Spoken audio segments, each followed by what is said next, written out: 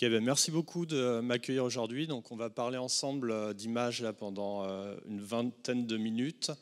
On va parler d'images à l'échelle d'un service euh, dédié. Et pour vous mettre un peu en perspective ce que ça peut donner sur un site comme Trivago, un service d'image qui fonctionne bien, ça peut apporter, comme pour leur site, 80% de réduction du poids des images. Donc c'est un vrai enjeu pour euh, les sites web en termes de performance. Et cela, ce n'est pas de la magie, c'est des techniques qu'on connaît déjà, que vous pouvez appliquer sur vos sites web. Et je vais essayer de vous les euh, décrypter, vous donner les, euh, les billes pour soit aller chercher votre service d'image, soit essayer de, de, mettre en place des choses chez vous. Alors, la promesse d'un service d'image, c'est de simplifier et automatiser processus de manipulation, dans le premier temps, d'optimisation et de livraison des images. Et bien sûr, ça va être en fonction du navigateur, de l'appareil, mais aussi du réseau. Donc toutes ces contraintes-là, elles vont devoir être prises en compte pour sélectionner l'optimisation de l'image et sélectionner finalement la version de l'image la plus adaptée pour la navigation en cours. Alors quand on parle de manipulation, on va parler essentiellement d'une API euh, sous forme de paramètres d'URL qui permet de recadrer une image, de filtrer euh, une image ou même de la transformer avec euh, du texte ou, des combinaisons d'images. Lorsqu'on parle d'optimisation d'images, là on rentre dans le cœur du sujet des formats. Chaque format a différentes caractéristiques. On peut faire de la compression avec ou sans perte. Et dans chaque format, on va avoir un certain nombre de réglages qui nous permettent de, finalement adapter l'image euh, résultat en fonction de, ce qu'on souhaite. Après, dans le contexte, il y a un élément qui est hyper important à prendre en compte, c'est les capacités du navigateur.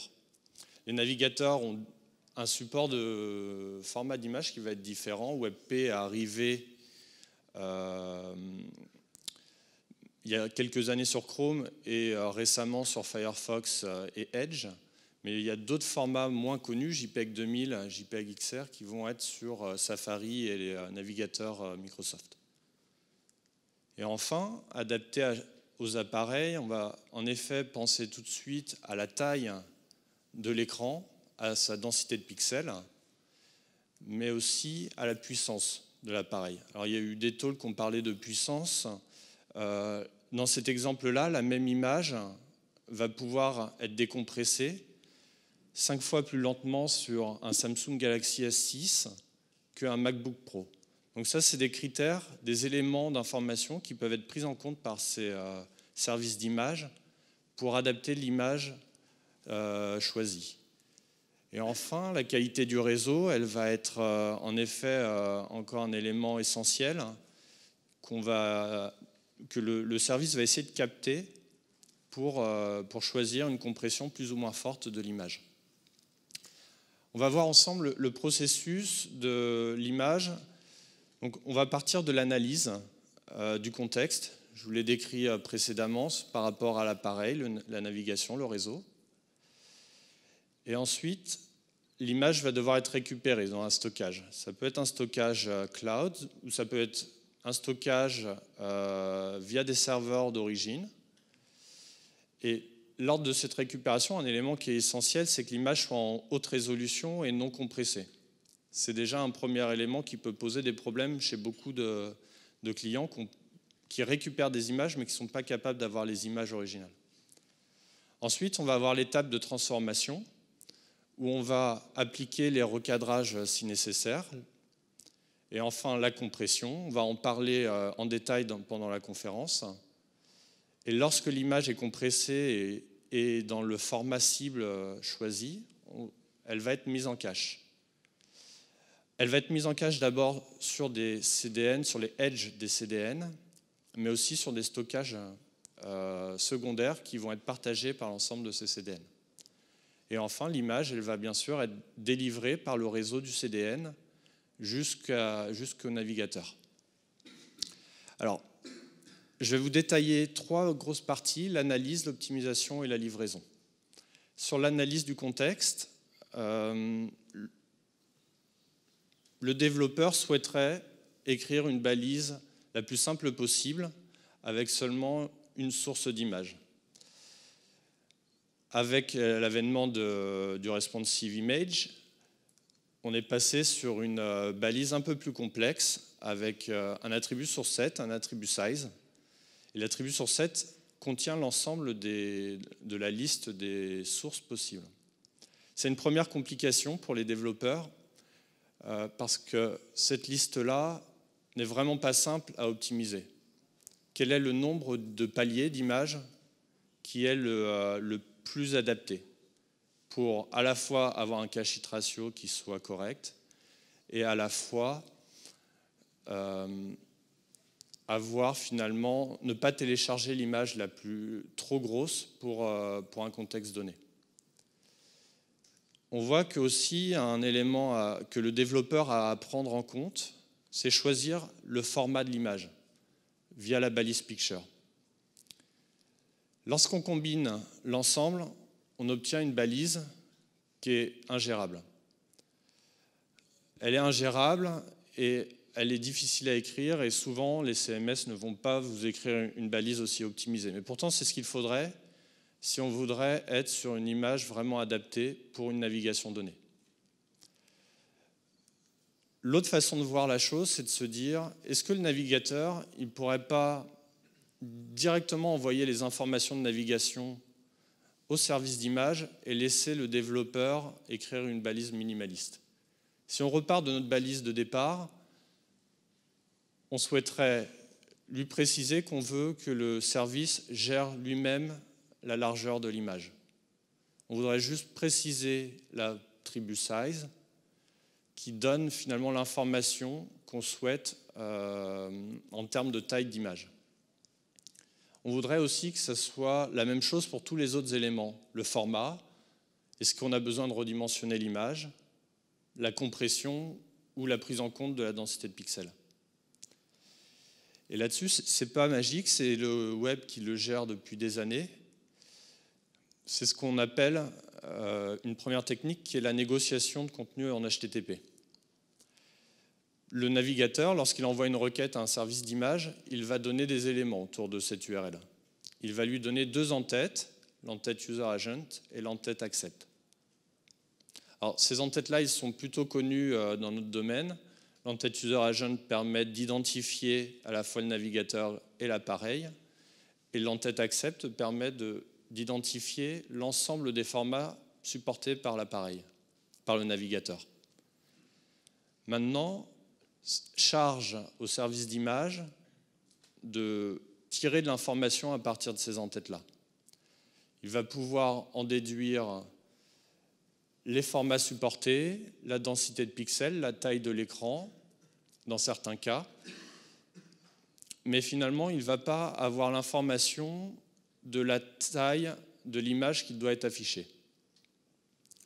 Pour ça, on a vu que dans, le talk précédent, on a, commencé à aborder le sujet des client hints, et c'est une approche qui est viable sur Chrome. L'idée des client hints, c'est de laisser le navigateur, informer le navigateur qu'il doit nous donner dans chaque requête trois informations supplémentaires. La densité de pixels, la taille de l'écran, ou du viewport en l'occurrence, et la taille de l'image cible. Lorsque le navigateur envoie ces informations au serveur, le serveur va être capable finalement, avec tout ce contexte-là, de choisir l'image qu'il souhaite euh, délivrer. Maintenant, le, point compliqué, c'est que ces, ces clients in sont supportés par Chrome et que sur le domaine principal pour des questions de euh, privacy je vais y revenir tout à l'heure. Un autre point sur la qualité du réseau, c'est ce qu'on a vu tout à l'heure, c'est la Navigation Information API. Donc c'est des informations qui nous donnent un type de réseau. Est-ce qu'on est sur un réseau 4G, 3G ou 2G Ces informations-là, elles peuvent être prises en compte par le service, notamment via des service workers. Lorsqu'on n'a pas la possibilité d'utiliser client hints, finalement, le service d'image va vous proposer généralement deux choses soit un générateur de balises sur 7. Alors il y en a un qui est excellent, c'est celui de Claudinari que je vous ai mis en lien. Soit finalement une librairie JavaScript qui va fonctionner un petit peu comme une librairie de euh, chargement euh, lazy load et qui va vous transformer l'URL euh, pour choisir les données du contexte. Avec tous ces éléments-là, le service d'image va être capable d'optimiser les images. Là, je vais rentrer un petit peu plus dans le, cœur du sujet, comment on optimise les images et quels sont les points à prendre en compte? Le premier élément crucial, c'est que le format, euh, soit JPEG ou WebP, ne parte pas de rien. Il part de la constatation que l'œil humain, il a des capacités et il a aussi des défauts. Il est plus sensible au, changement de luminosité qu'au changement de chrominance. Qu'est-ce que ça veut dire Au changement de teinte, qu'on appelle la, chrominance dans le domaine. Alors cette information, elle va être prise en compte par le format JPEG pour travailler l'image. L'image va être décomposée en trois, euh, couches, trois dans l'espace de couleurs. Et la couche, en l'occurrence Y, va être la, couche d'information de la luminance. Cette couche-là, elle va avoir aucune dégradation, alors que les autres informations sur la teinte vont pouvoir être réduites sans que l'image en résultat soit, euh, soit détériorée. Donc on appelle ça le chroma subsampling. C'est un premier élément qui permet de faire de la compression avec perte. On perd l'information sur la couleur, sur la teinte, tout en préservant une qualité euh, perçue correcte. Cependant, ce n'est pas magique, ça ne fonctionne pas toujours très bien, notamment lorsqu'il y a du texte. Alors ici, on voit pas très bien sur le vidéoprojecteur, mais l'image euh, la plus à droite est bien, moins, euh, bien plus compressée que l'image originale. Et on peut voir les artefacts. Un deuxième point qui est important de comprendre, c'est ce facteur qualité. On parle en JPEG d'un facteur qualité qu'on règle souvent autour de 80, 85. Et c'est pareil, il n'est pas magique ce facteur, il vient d'une autre constatation sur l'œil, c'est que l'œil humain est plus sensible à ce qu'on va appeler les formes, les aplats sur l'image, que les détails. Si je vous prends une image euh, comme celle-là, vous voyez qu'il y a beaucoup de détails, notamment sur l'arbre, notamment sur le chien. Je peux la, découper en deux finalement pour garder d'un côté les basses fréquences, ce qu'on va appeler les, aplats, les teintes, et de l'autre côté les hautes fréquences, tous les détails. Dans le format JPEG ou WebP, les basses fréquences sont bien plus simples à encoder, avec un espace beaucoup plus faible que les hautes fréquences. Donc un élément très important sur euh, les algos de compression de perte, c'est de jouer sur ces hautes fréquences pour finalement enlever l'information des détails sans, perdre la qualité euh, perçue euh, finale. Le format JPEG, comment il fonctionne Il découpe les images en blocs. Il va les découper en blocs de 8 par 8 et chaque bloc va être optimisé de façon séparée.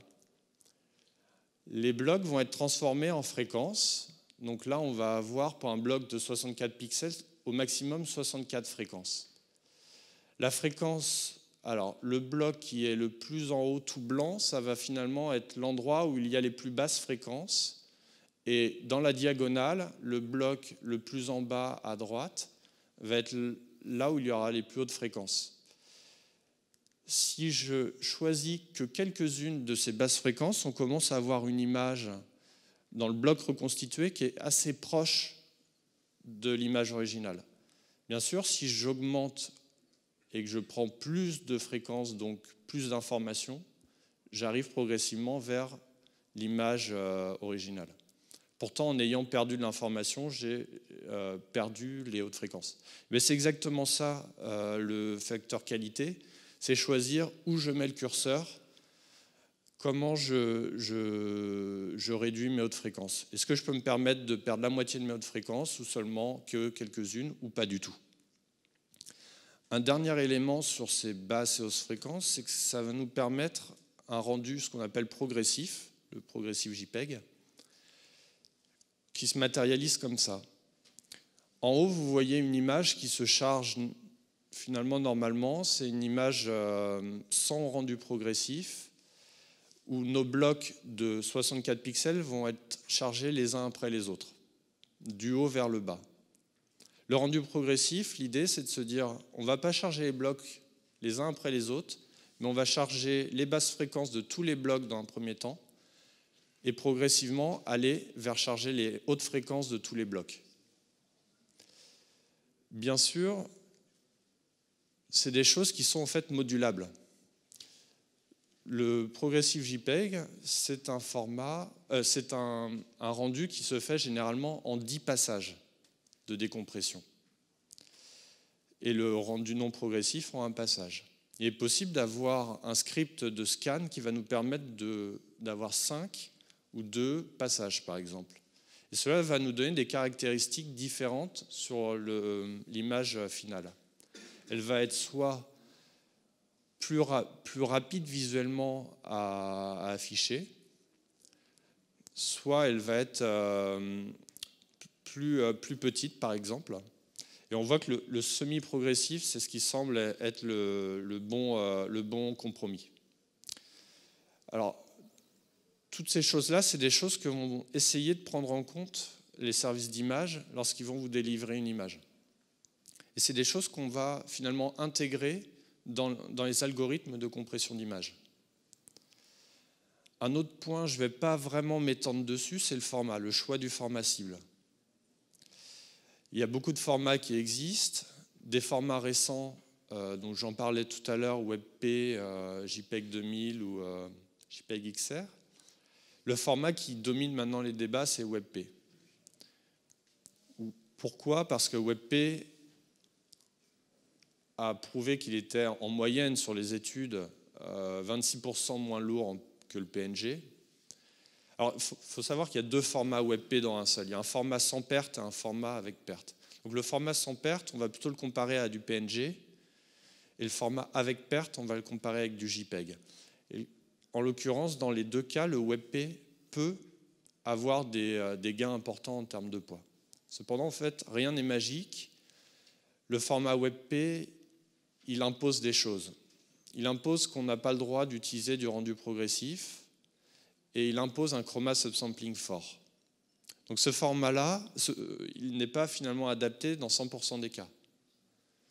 Dans les cas où les images ont des, textes, par exemple, on peut avoir une dégradation visuelle trop forte et il faut mieux rester sur du format JPEG. Mais ça, c'est des choses que les algorithmes vont essayer de prendre en compte également. Je vous ai parlé dans les algorithmes de, finalement de, choix à faire, mais sur quoi ils se basent pour choisir l'image à, optimiser?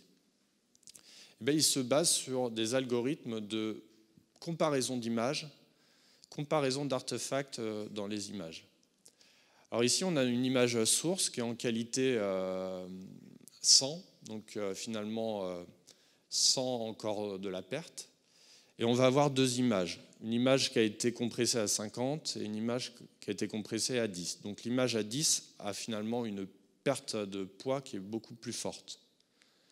Eh bien, les scores de comparaison d'images vont nous donner une indication sur la dégradation de l'image visuellement perçue. Au fait, l'algorithme maintenant qui est le plus, euh, le plus avancé, c'est Simulacra. C'est un algorithme qui est, euh, basé sur un autre algorithme qui s'appelle SIM, qui, sont des algorithmes de comparaison de structure dans l'image c'est des choses que l'œil va euh, finalement réussir à apprécier. Est-ce que, par exemple, je ne sais pas si vous voyez sur l'image en qualité 10, au niveau du ciel, on, voit une structure de, de bleu qui n'est pas, correctement dégradée. C'est ce genre de choses que va être capable de, signaler un algorithme de comparaison d'images. Et la tâche finalement de ces euh, services d'image va être de placer des curseurs.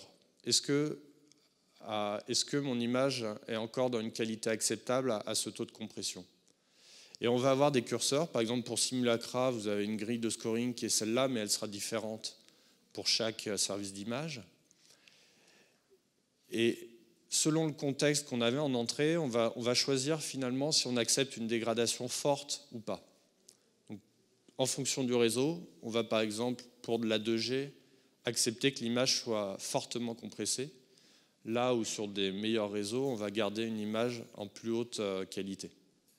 Ça va être notre variable d'ajustement qui va nous, nous, permettre de savoir si on peut aller vers, tendre vers une telle ou telle qualité en plusieurs étapes, ou choisir départager un format ou départager l'application du chroma subsampling.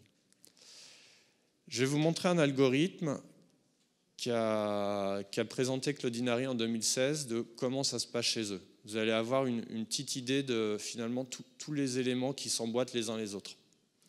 Ici, en entrée, on a une image non compressée et on a une euh, qualité cible en fonction de la puissance de l'appareil, en fonction du réseau. Et à partir de là, il va y avoir une première analyse. Cette image-là, qu'est-ce que c'est? Est-ce que c'est plutôt une image d'une photographie ou plutôt une image euh, de texte, par exemple? Ça va nous donner une indication sur le format choisi. Est-ce qu'on va partir plutôt sur du JPEG? Ou plutôt sur du PNG Lorsqu'on part sur du JPEG, est-ce qu'on va appliquer ou non du chroma subsampling? Ben Finalement, c'est l'algorithme, ce qui est écrit euh, YDSIM score, c'est cet algorithme-là de comparaison d'images qui va nous donner l'information. Est-ce qu'on a passé un seuil d'artefact qui est trop important? Et à partir de là, on va itérer jusqu'à trouver finalement l'image qui nous semble la plus adaptée euh, en fonction du contexte. Une fois que l'image est optimisée, il y a bien sûr un dernier enjeu qui est la livraison de l'image. Alors je vous ai dit tout à l'heure, la livraison de l'image, elle se passe euh, via le réseau d'un CDN, qui va placer les images euh, selon ce qu'on appeler des clés de cache euh, sur les serveurs les plus proches de l'utilisateur. Eh bien, ces CDN-là, ils ont besoin d'être optimisés pour livrer les images. En HTTP2, alors ça, c'est des slides qui ont été faits par Claude, Claude Flair en l'occurrence, il peut y avoir une vraie différence sur la vitesse perçue selon l'optimisation de la couche réseau. Dans le cas où la couche réseau est optimisée, donc là avec du ce qu'ils appellent du progressive streaming, eh finalement on voit que les images apparaissent et remplissent l'écran beaucoup plus rapidement. Alors ça c'est pour le cas du JPEG progressif. Comment ça marche derrière? Eh bien, Derrière on va avoir l'image qui va être téléchargée en petits bouts en prenant en compte finalement l'ensemble des images à télécharger. Et c'est un élément important qu'il va falloir prendre en compte lors du choix de votre service. Est-ce que la couche réseau est délivrée, est, vraiment optimisée? C'est rarement le cas. Pour conclure, l'optimisation des images, ça reste un sujet complexe, un sujet d'expertise, mais ça reste abordable et simplifié largement par, les, euh, par ces justement par ces images. Si vous, vous devez essayer de mettre en place ce genre de choses chez vous, une première étape que je vous encourage à faire, c'est de mettre en place un, algorithme qui se base sur de la détection d'artefacts. Voilà. Et euh, ensuite, si vous avez les moyens, bah, évidemment que moi je vous encourage à utiliser un service d'image. Euh, il y a plein de, choses dont je n'ai pas parlé qui sont très intéressantes et très complexes à mettre en place sur la couche de cache, sur la couche de stockage. Donc euh, n'hésitez pas à, me poser des questions sur le sujet si, euh, si ça vous intéresse. Merci.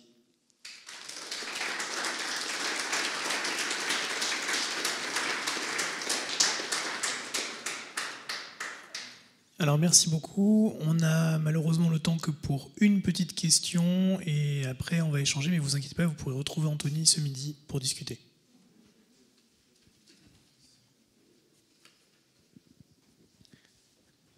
Désolé Daniel, mais la main était levée derrière toi avant. Bonjour. Je me posais la question, euh, comment est-ce qu'on peut positionner le curseur le plus, de la manière la plus optimale possible entre euh, faire des choses hyper spécifiques par user agent et optimiser le taux de cache? Parce que plus on va être dépendant du user agent, plus on va avoir de variantes d'une même image, et donc mhm. plus le taux de cache va descendre. Oui. Euh, et donc on va dégrader les perfs réseau. Est-ce que vous avez des bonnes pratiques en la matière Généralement, les services d'image vont euh, gérer deux ou trois formats euh, cibles pour, euh, pour une image. Généralement, un format reconnu partout, PNG ou, JPEG, et un, format plus récent. Mais ils vont évidemment limiter à la fois les variations sur le, la taille des, écrans, euh, et puis ils vont limiter aussi, euh, les, euh, ils vont ramener finalement à des taux de qualité qui sont des, par exemple très hauts, hauts, moyens et bas. À partir de là, on arrive à, si on fait la combinatoire, généralement on aura pour une taille maximum une dizaine d'images possibles. On va rarement aller au-delà.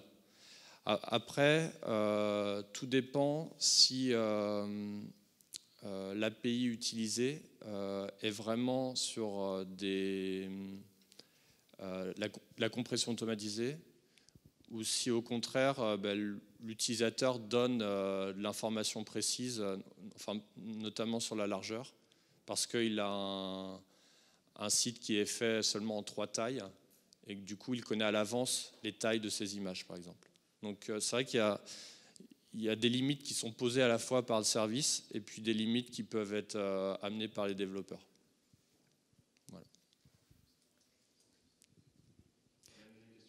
Oui, bonjour. Euh, sur notre site, on souhaite autoriser l'usage du PNG que pour de la transparence.